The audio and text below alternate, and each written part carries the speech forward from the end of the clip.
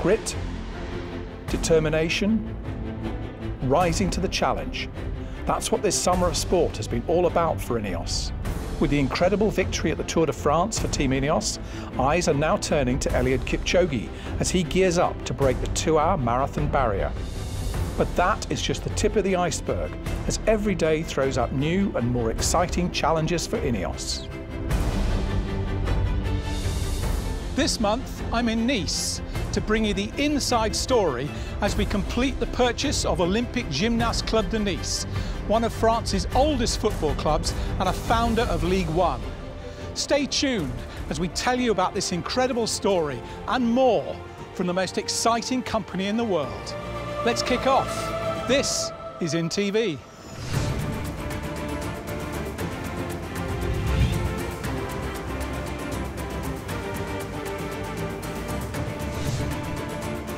In this episode, we delve into the world of French football and explore our latest acquisition as we become owners of OGC Nice. He's got all the attributes we were looking for in a football club. Good players, good squad, he's got a good history. We get a sneak preview of how the 159 team and Eliud Kipchoge are preparing to break the world record time for a marathon. We wanted this to be a big city marathon. For his psychology when he's running is to have fans around him, have people cheering, have a crowd. And Vienna was able to offer us all of that.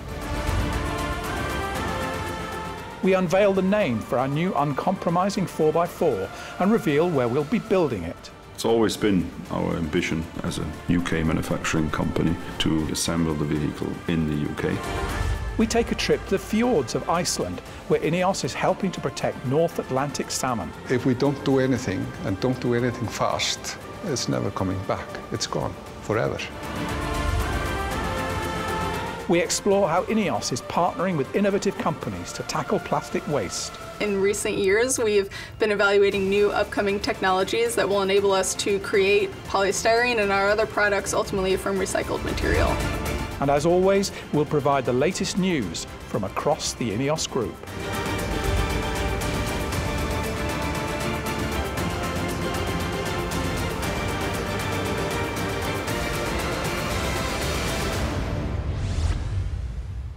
I'm here at the Allianz Riviera Stadium, where the latest member of the Ineos sports family is gearing up for match day. First team coach is France and Arsenal legend Patrick Vieira, and we'll be hearing from him later. This season of top class French football is sure to be a cracker. Let's take a look now at the great history of this club and what's in store for the future. Capital of the Côte d'Azur and the fifth largest city in France, Nice is home to spectacular beaches and landscapes enjoyed by thousands of tourists every year. But it's also home to one of the founding members of the French Football League, OGC Nice. Le club de l'OGC Nice a une importance euh, fondamentale à Nice parce qu'on a une identité très forte dans, dans, dans, cette ville. On est complètement positif pour cette saison. Euh, euh, même si elle avait mal démarré, on savait qu'avec l'arrivée d'Ineos, on, on, allait euh, surmonter les épreuves et revenir petit à petit. In August, Ineos announced the acquisition of OGC Nice as part of the Ineos Football Group and ushered in a new chapter for the club. Everyone is very enthusiastic about the arrival of Ineos. From the first meeting until now, we have met people of great quality who have made us want to share this project. Bob Ratcliffe, CEO of Ineos Football, is keen to take the club forward and make them European contenders. He's got all the attributes we were looking for in a football club. Good players, good squad, real fan base, real enthusiasm, and he's got a good history. We think with measured investment over the next three to five years, we can put it in a place where it's competing regularly in Europa League, Champions League. So if we apply sort of the Ineos values, I think we'll get to the right place. With four league titles to their name, won in a glittering period of the 50s, the club has a rich history. Their last cup triumph came in 1997, winning the Coupe de France. Ineos are looking to instill some of their trademark grit and determination to help the club achieve success again. Euh, ce qui arrive au club, c'est quelque chose d'incroyable, d'impensable. Jamais j'avais imaginé euh, que Ineos puisse à un moment donné euh, racheter le club. Et j'espère en tout cas qu'il y aura une autre personne, un autre capitaine qui pourra soulever ce, ce trophée rapidement. Success is something familiar to former Arsenal invincible Patrick Vieira, who has been lead coach since last season. I think Ineos coming to our football club is a, is a massive step forward, not just for our football club, but for the French league as well, because Ineos is one of the biggest brands worldwide. And I think we can be even more ambitious because we, we have the, the experience of people who's been really successful in business and in uh, different, uh, different sports. Yeah. But it's really exciting to be part of it. With a superb stadium that hosted World Cup football last summer and a fantastic new training centre, the club has a bright future ahead of it. Our ambition is, to be honest, is to continue to, to, to increase the level of the club, but also to, to develop the club with the mentality, with the capacity each season to, to, to be able to compete.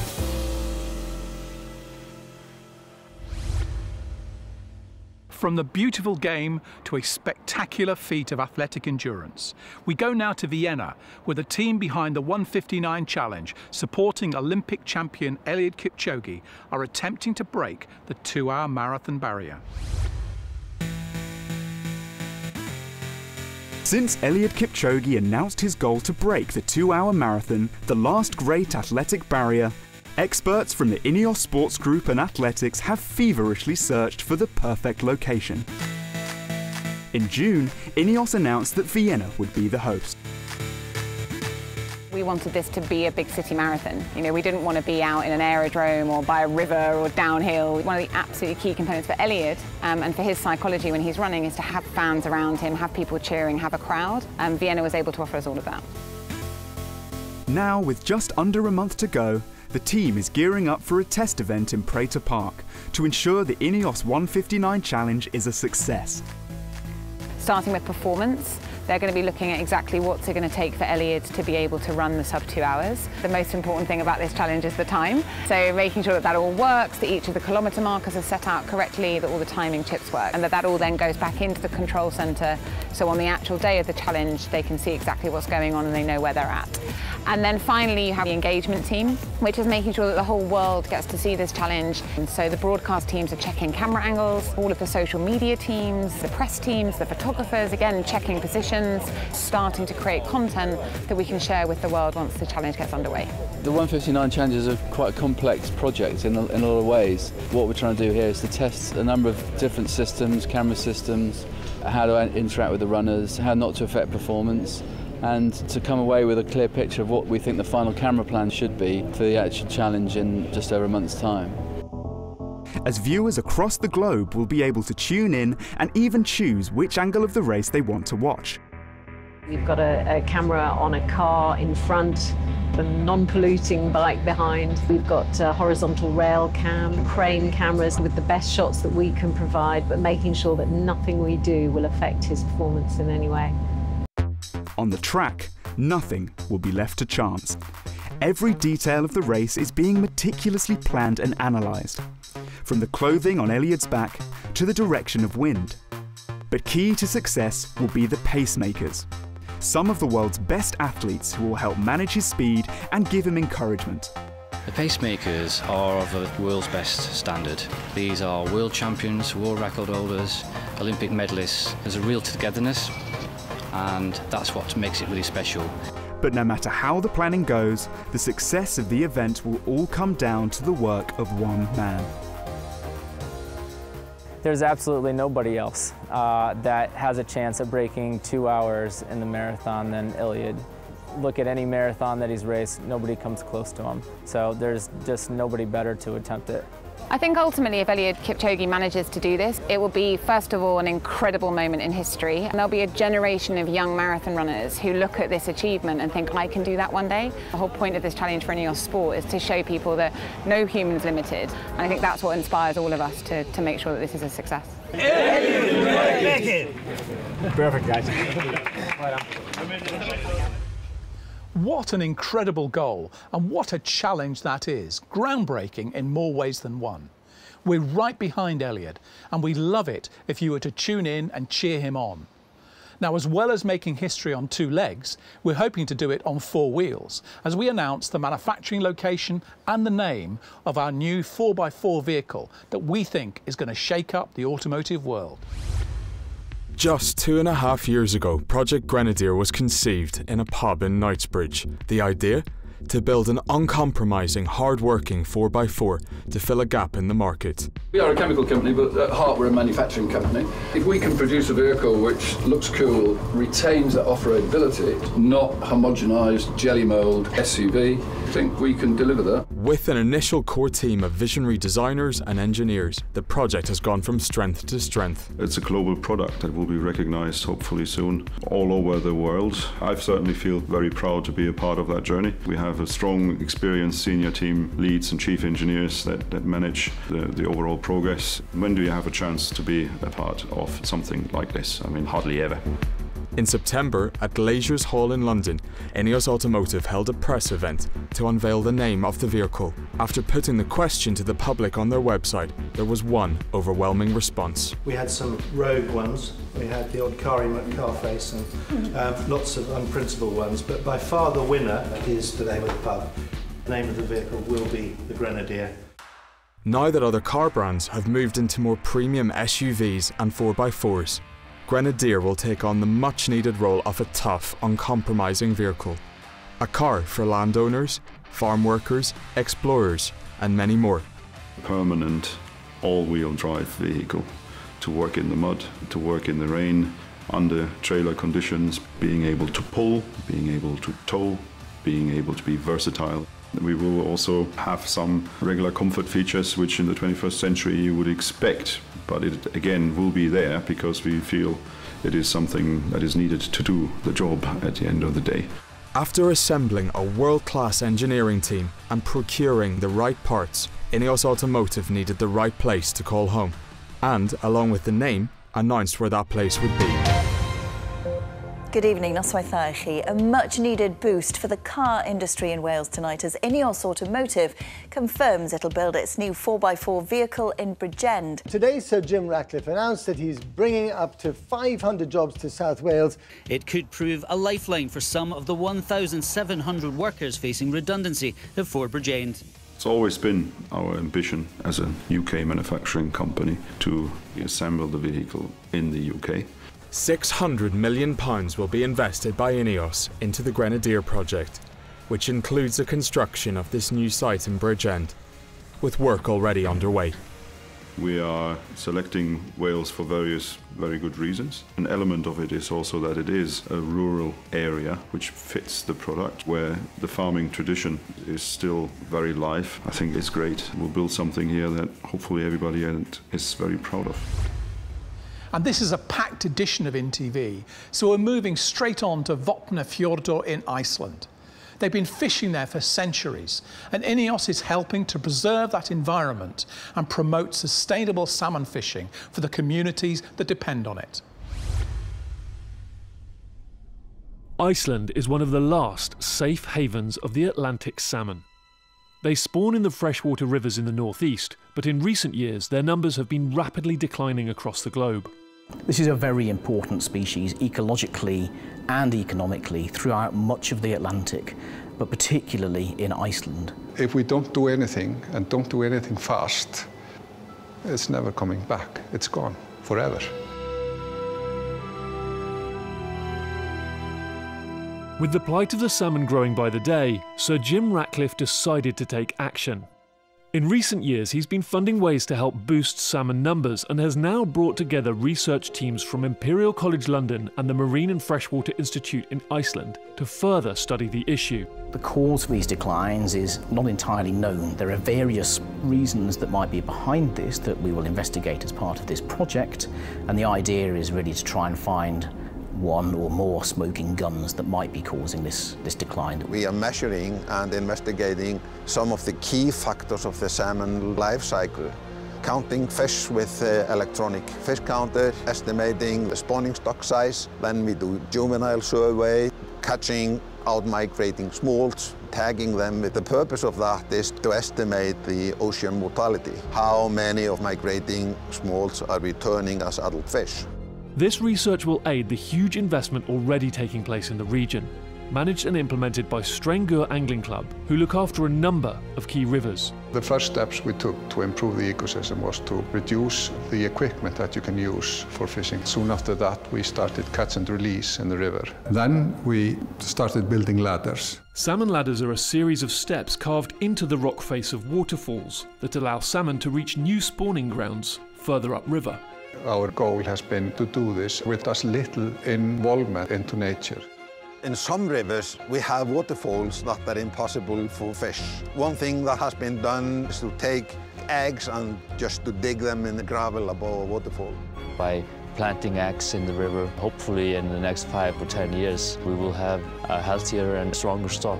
Every avenue to improve the ecosystems of the rivers, including the soil and vegetation around them, is being explored. We're putting this different kind of species, larches, birch, tea-leaved willow and woolen willow down, and it will enrich the soil. When you get a healthier vegetation along the rivers, then you get a healthier environment for the uh, organism living in the rivers. These scientific teams and groups are performing vital work to solve a growing crisis, but it couldn't be done without the support of the local communities. That's great that Mr. Ratcliffe is uh, concerned about the Atlantic salmon and uh, helping the rivers as he can.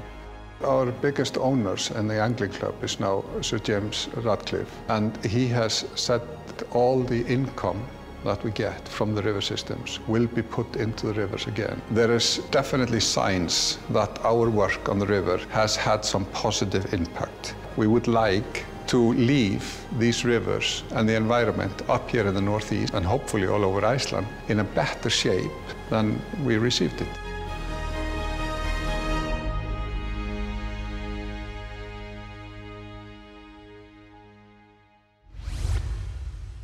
Safeguarding the environment is a core principle for INEOS, and we're partnering with companies using breakthrough new technology to take old plastic and break it down into its base molecular components. Technology like this will eliminate plastic waste across the world and create a circular economy that will benefit us all.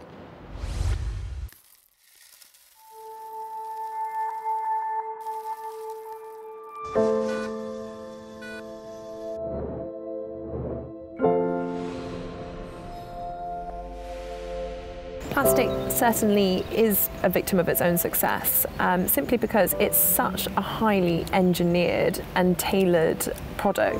But on the other hand, it's also extremely easily disposed of. One of the, the challenges with plastic is some of the great attributes of it. The fact that it can be very low cost. Because it's low cost, you have a consumer who doesn't appreciate that value in the resource and maybe it isn't being disposed properly. Today, the issue with uh, plastic waste mismanagement is at a point where it's really a crisis. The vast majority of 350 million tons or so of plastic that is produced a year goes to landfill. There's incredible value in changing that dynamic. I think society, with all the negative misconceptions about plastic today, forgets about how often we touch plastic throughout the day. From in the morning when we wake up, brush our teeth, put on clothes that contain plastic, go out for that run, use a water bottle that's made of plastic. It all comes down to how we handle our plastic waste.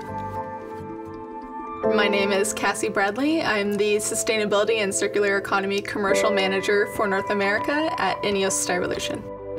INEOS Styrolution is the number one global leader in styrenics.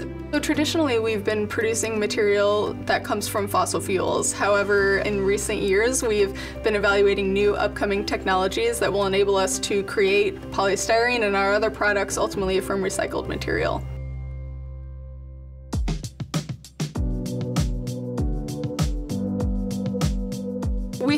Partners that we're working with in North America. And Agilyx, they're located out in Oregon. They have a depolymerization technology that converts polystyrene waste back into styrene monomer raw material. Our broad mission statement is to take plastic recycling from 10% to 90%. So with the Agilyx process, we take all types of polystyrene, foams, rigids, films. We process them so they're easier to handle. We combine those materials into a feedstock for our reactor. The heat in the reactor breaks the polymers, turns it to a gas. The gas is taken off and quenched to an oil that then a company like INEOS can use So it is able to go back into food contact products, into pharmaceutical grade products. It can be used for anything the original virgin material could be used for.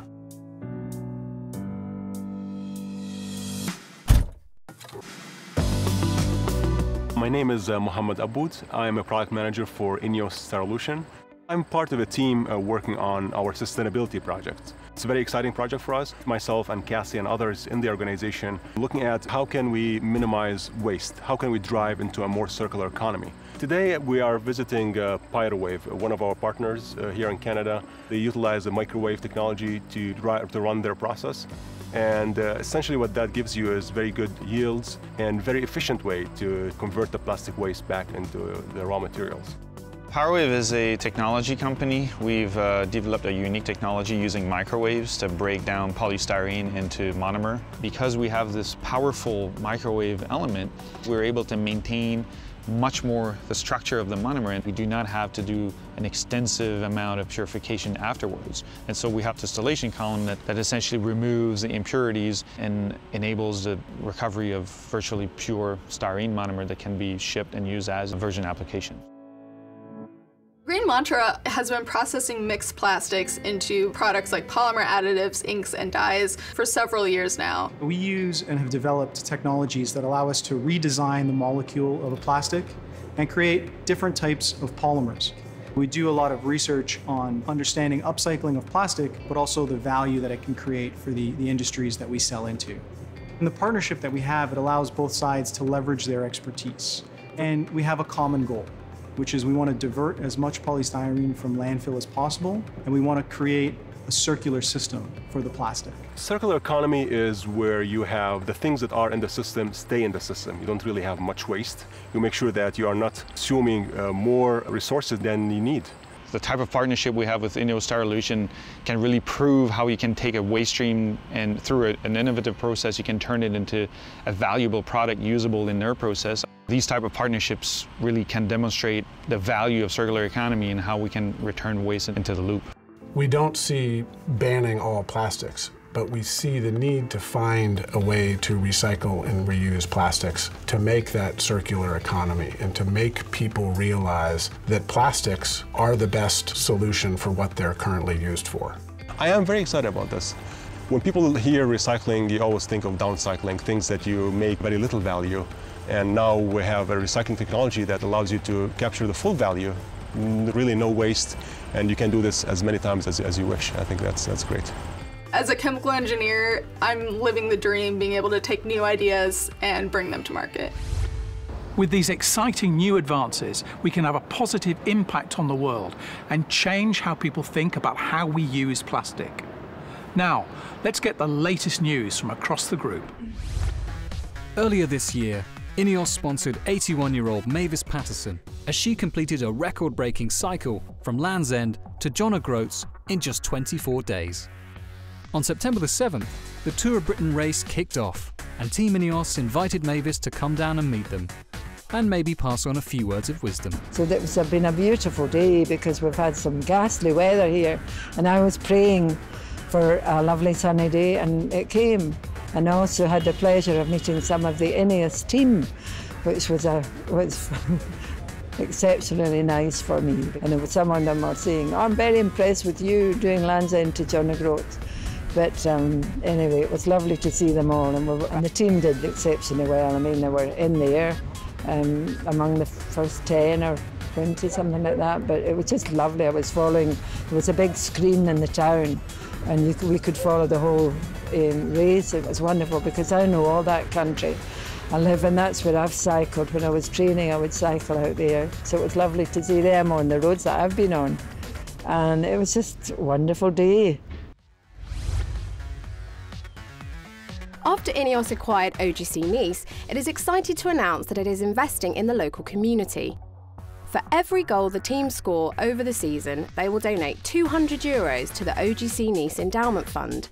This fund directly supports the Enfants sans douleur programme launched in 2005, which aims to support and publicise local charities that help children suffering from debilitating illnesses. Et ce programme soutient toutes les associations locales d'aide à l'enfance euh, de Nice. Et ça, c'est quelque chose de, magnifique que va permettre euh, Ineos. Je pense que l'arrivée d'Ineos à l'OGC Nice est très positive pour le club, pour ses supporters, mais au-delà de ça, pour toute la ville de Nice. Ineos supports the children's charity, the Daily Mile, which works with schools across the globe to help children get fit for life. In the coming weeks, the initiative expects to announce that 10,000 schools have signed up. This means nearly 2 million children across 67 countries are taking part, with 5,000 schools in England alone. A growing network of research shows the many benefits of the Daily Mile for children's physical health and well-being, their mental health and their learning. Fantastic news for the charity and even more fantastic news for the health of children everywhere. Well, that's it for this edition of InTV. Next time, we're going to dedicate the whole show to the Ineos 159 Challenge as Eliud Kipchoge attempts to make history. Until then, that's full time from us. Thanks for watching.